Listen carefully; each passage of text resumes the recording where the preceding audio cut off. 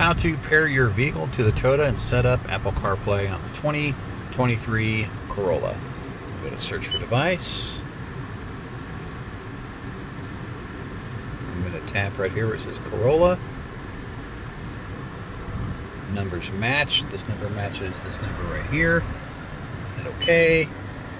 Hit pair. I'm going to hit allow. That way all your contacts are on there for phone calls.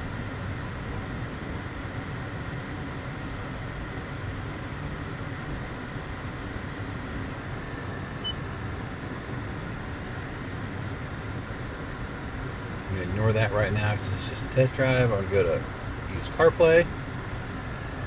Yes for CarPlay here. Two systems are syncing up wirelessly. And just like that, you have Apple CarPlay loaded on your phone.